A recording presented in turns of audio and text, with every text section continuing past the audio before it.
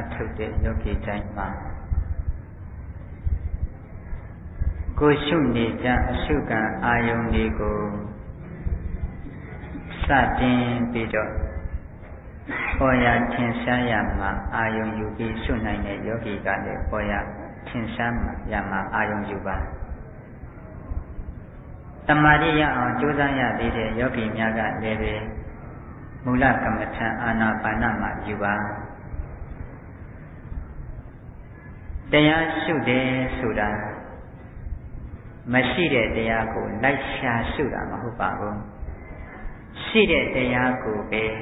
သိအောင်လုပ်တာပါတရားရှုမှတ်ပွားများအားထုတ်ကြတဲ့နေရာမှာမရှိတာကိုရှာပြီးရှုတာမဟုတ်ဘူးရှိတဲ့သဘောအမှန်ကိုသိအောင်ကြိုးစားကြည့်တဲ့အလုံးလို့ရှင်းဥစွာမှတ်ထားပါ တရားအားထုတ်ကြတဲ့ယောဂီတိုင်းသည်ဒုက္ခတရားကိုပေါ်လာအောင်စောင့်ပြီးတော့ရှာရှုတဲ့အလုပ်တွေကိုစွမ်းနိုင်သမျှနဲအောင်ပါအောင်မရှိတော့အောင်ကြိုးစားပါဒါသိအရေးကြီးတဲ့စကားတစ်ခွန်းပါ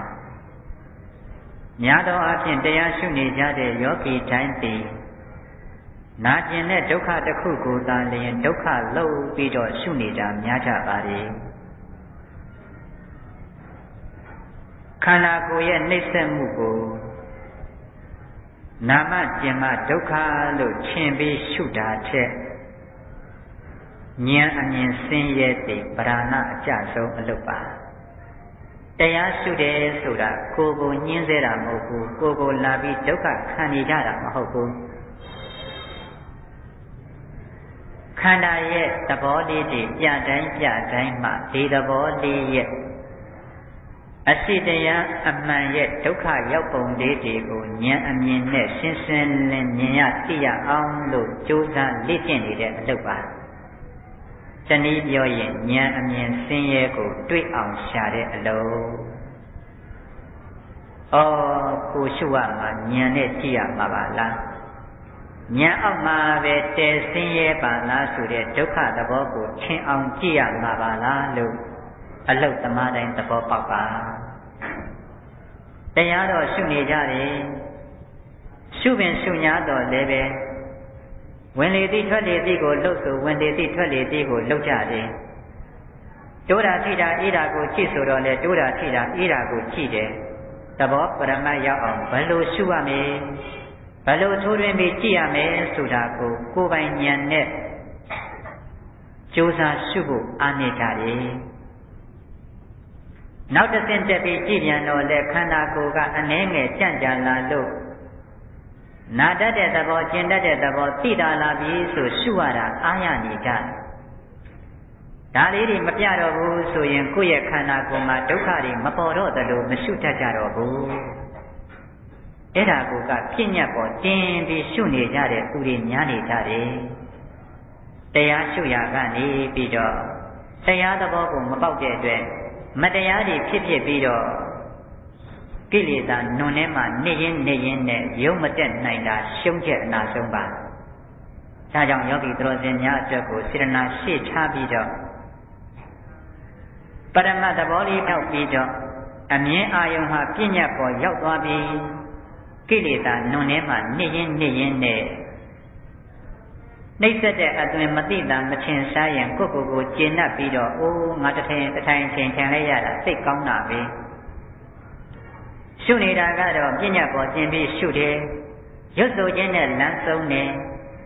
အဲ့ဒီလိုနဲ့ချမ်းသာမှုလေးဟာအလေးကျင့်ရလို့အားကောင်းတဲ့သဘောလေးပေါ်မှာကျင်နာကြီးကျင်နာသွားရင်လည်းအချိန်လေးကုန်ဆုံးသွားတာနှမျောစရာကောင်းလာပါလေ ဒါတွေကိုမဖြစ်ရအောင်လို့စတင်ကြိုးစားရှုတဲ့ယောဂီတိုင်းသည်ပေါ်ရထင်ရှားရာကိုရှုတဲ့ကစသိလာရင်ကိုယ်နဲ့ဆက်ပြီးပြလာတဲ့ဖောက်ပြန်မှုမျိုးစုံစိတ်နဲ့ဆက်ပြီးပေါ်လာတဲ့ခံစားမှုသိတတ်တဲ့သဘောဘယ်တရားလေးပဲပေါ်လာပေါ်လာတဲ့ဉာဏ်အောက်မှာပေါ်လိုက်ကြောက်လိုက်ချစ်လိုက်ကြက်လိုက်မွေးလိုက်သေလိုက်သူ့အလုပ်သူ့လုပ်သွားတာဒါလေးကြည့်ရုံပဲ အခုတော့ဒါရီယာမထင်ရှားဘူးဆိုရင်ခန္ဓာကိုယ်မှာနာတာလေးသိတာမှကျင်တာလေးသိတာမှထုံတာကြိုက်တာလေးသိတာမှ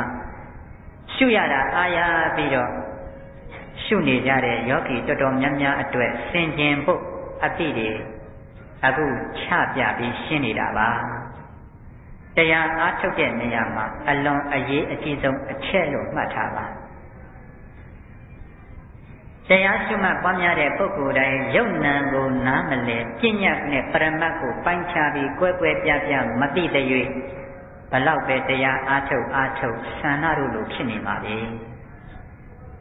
ဒါတွေဟာအချိန်ကုန်ဆုံးပြီးတော့ဒုက္ခနွန်တွေကမတက်နိုင်ပဲပြိဿသမုပ္ပါဆက်ရဟကိုလေကျင်နိုင်တယ်ပတ်ချင်နိုင်ပတ်နေတာဩငါတို့ရှုနေတဲ့အလုတ်ခွင်မှာသဘောပေါက်မှုအားနေသေးလို့ပါလား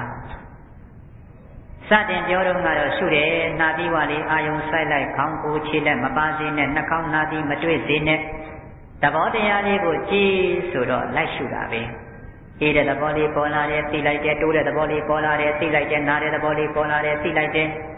အဲ့ဒီအတိလေးတွေသိတုံးကတက်တောင့်တက်တာနဲ့ရှုနေတုံးကဒုက္ခလို့လည်းရှုတာမဟုတ်ပါသဘောတရားလေးပေါ်မှာပဲအတိလေးကိမ့်ကိမ့်လေးသိသွားသိသွားတာပဲ အဲ့ဒီအမြင်မှန်လေးကိုမိမိကရှုနေခြင်းကနေပြီးခန္ဓာကိုယ်ကနာမှုလေးတွေသိတာလာတော့နာရာဘက်ကိုအာယုံလေးစိုက်ပြီးနာတယ်ဆိုတဲ့ဒုက္ခကြီးအမြည်တက်ပြီးတော့၎င်းနာရာကြီးကိုအမြည်တက်ပြီးတော့၎င်းဒုတို့ပေါင်တို့ကိုပုံဖော်ပြီးတော့၎င်းရှုနေကြပြန်လေအဲ့ဒီလိုရှုတဲ့ပုဂ္ဂိုလ်တိုင်းလိုက်လေဝေးလေပြဉ္ညာနဲ့ဖုံးလွှမ်းပြီးပရမတ်သားကိုကွယ်လေမမြင်လေဖြစ်ရတော့တယ်စ ရှုတော့ကတော့သဘောလေးကိုရှင်းအောင်ရှေ့ကဆရာသမားတွေကသင်ပြီးတော့မိမိတို့ကလိုက်သိအောင်ကြိုးစားရင်းနဲ့သဘောပေါက်တယ်လို့လို့ရှုနိုင်တယ်လို့လို့နဲ့နောက်ဆုံးကြတော့လည်းပဲဒီပေါ်မှာတိမ်မွေ့သွားလေမရှုတတ်လေတိမ်မွေ့သွားလေမရှုတတ်လေနဲ့ပရမတ်ရဲ့အမြင်ပေါ်မှာဉာဏ်ကအာမကောင်းတော့ရှုရင်းရှုရင်းကနေပြီး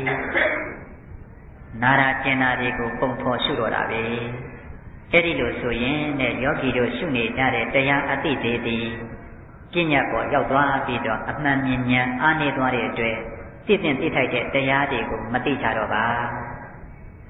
တကယ်ရှုတဲ့အခါမှာတကယ်ဉာဏ်အမြင်ကိုအာယုံပြုရင်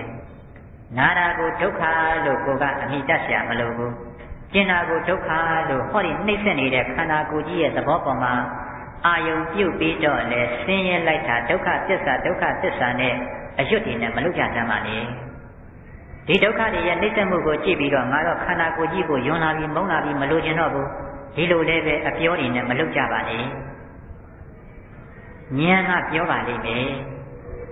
အဲ့တော့ဉာဏ်ကပြောတယ်ဆိုတော့ခန္ဓာရဲ့သဘောကိုအာယုံလေးစိုက်လိုက်ရင်သူ့သဘောကလှုပ်ကနေပေါ်လာတဲ့သဘောလေးလည်းဖြစ်ပြီးပြတ်သွားတယ်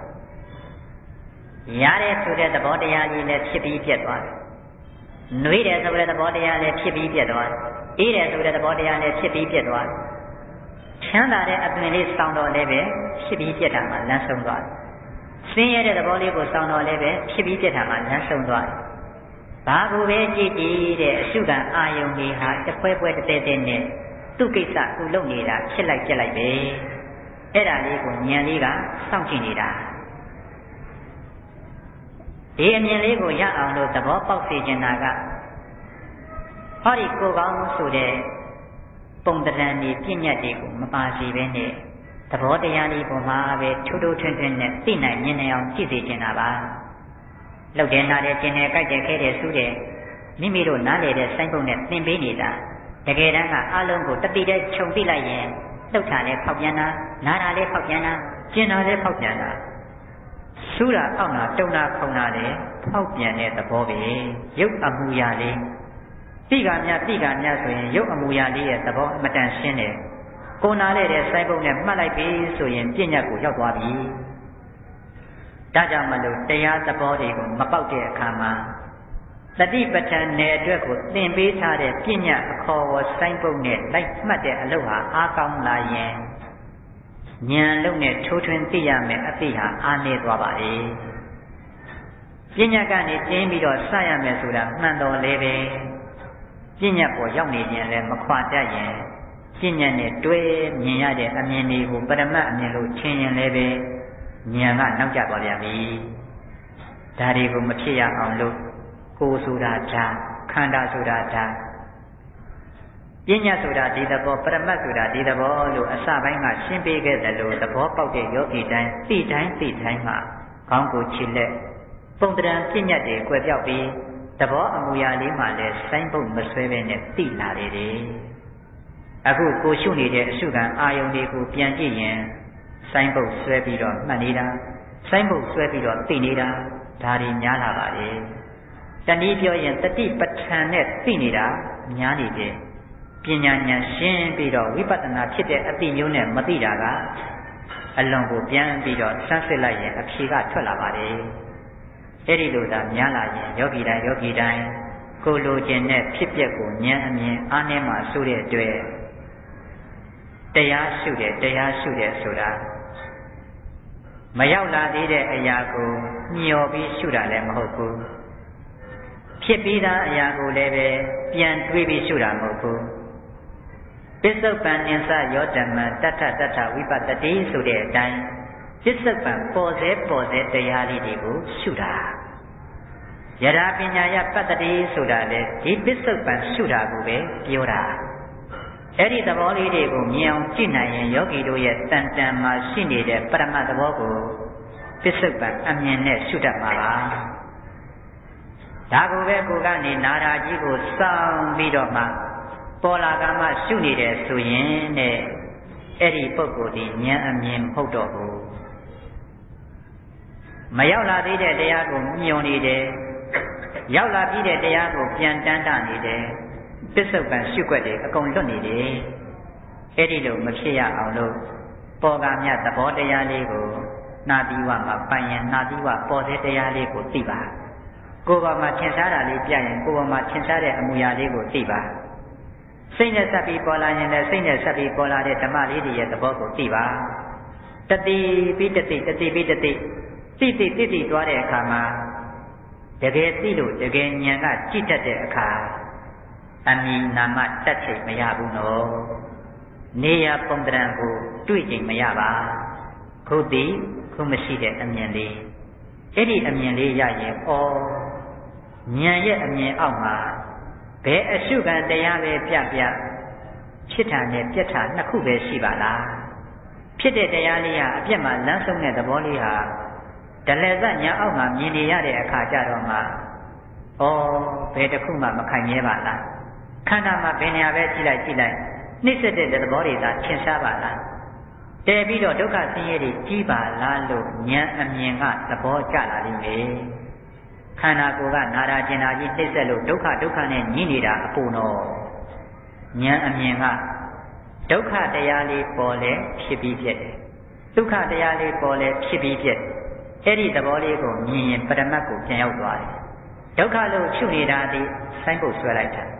ဒုက္ခလို့ရှုနေတာဒီစိုင်းဖို့ဆွဲနေတာပြညတ်ပေါ်တင်ရှုတယ်လို့မှတ်ထားပါ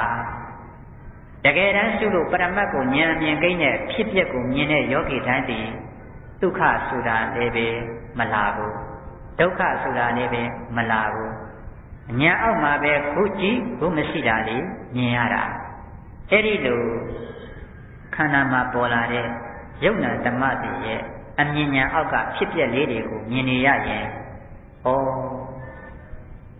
ခန္ဓာရှိတဲ့တရားဟာခန္ဓာအကြောင်းကိုပြောနေတာဟာဘာတစ်ခုမှတန်ရစရာမရှိပါလားဖြစ်တာပြက်တာဒီသူ့သဘောပါလား အဲ့ဒီကြတော့မှဉာဏ်ကသဘောကျပြီးတဲနှိမ့်ဆက်တဲ့ခန္ဓာပါလားလို့ဉာဏ်အမြင်ဆင်းရဲလေးကသိခွင့်ရတာလေအဲ့ဒီဉာဏ်အမြင်ဆင်းရဲကိုရသွားရင်နတ်မှန်သွားပြီဒါကြောင့်မလို့တရားရှုတဲ့ယောဂီတိုင်းသဘောပေါက်စေခြင်းနာသိစေခြင်းနာကခေါဒီကိုကြီးပေါ်မှာအာယုံညှိုးပြီးတော့မတင်ကြပါနဲ့ပြညတ်ပေါ်မှာတင်းပြီးတော့ကျင့်တတ်မှုတွေနဲ့မနေကြပါနဲ့ သဘောတရားလေးပေါ်လာတယ်ပေါ်လာတဲ့သဘောတရားလေးကိုကြည့်လိုက်တယ်ခေါင်းကိုခြေလက်အမြင်ဆိုင်ဖို့မပါဘဲနဲ့ဉာဏ်အောက်မှာပဲမရှိတဲ့သဘောလေးတွေကိုမြင်ရသိရအောင်ရတဲ့အပိုင်းလေးတွေမှာရတယ်လို့ကြိုးစားပြီးအဲ့ဒီအမြင်လေးတွေကိုမှတ်မှတ်တတ်တတ်ရှိမယ်ဆိုရင်ဉာဏ်အမြင်တွေတစ်ပြေးနဲ့တစ်ပြေးတစ်ချိန်နဲ့တစ်ချိန်ပို့ပို့များလာမှာဖြစ်တဲ့အတွက်ကိုလိုချင်တဲ့ပန်းတိုင်ကိုလွယ်လင့်တကူနဲ့ရမှာပါဒါကြောင့်မလို့ယောဂီတိုင်းယောဂီတိုင်းဒီ ကိုကြိုးစားနေတဲ့အရှုခံပေါ်ရာဌာနလေးတွေမှာပေါ်တိုင်းပေါ်တိုင်းသောပြလာတဲ့ယုံနာအပေါ်မှာရုပ်ချင်းရှားလဲရုပ်ရဲ့သဘောနာချင်းရှားလဲနာရဲ့သဘောလေးကိုသဘောထားမှန်မှန်လေးနဲ့ကြည့်နေမယ်ဆိုရင်အဲ့ဒီယောဂီသည်ဒုက္ခဒုက္ခအစွန်းလွတ်ပြီးတော့မစ္စိမပရိပရာဆိုတဲ့ဥပိ္ပခအသွင်နဲ့ကောင်းစွာကြည်ပြီးတော့ရှုနိုင်ပါလိမ့်မယ် ဒီအမြင်ဒီသိမရောက်သေးရင်တော့ယောဂီတို့ယုံနံကိုမပိုင်သေးပါယုံနံကိုပရမတ်ရအောင်မသိသေးပါယုံနံပရမတ်ကိုသိရင်လည်းပဲချမ်းသာဆင်းရဲလွတ်နေပါလားဆိုတာကိုယောဂီတို့ကိုယ်တိုင်ပဲသဘောကျလာပါလိမ့်မယ်အဲ့ဒီအမြင်အဲ့ဒီအသိရအောင်ကြံရှိတဲ့အချိန်လေးတွေမှာဉာဏ်လေးတွေရင့်ကျက်တဲ့ရင့်ကျက်အောင်ဆက်လက်ကြိုးစားရှုပွားအထုတ်ပေးနေကြပါ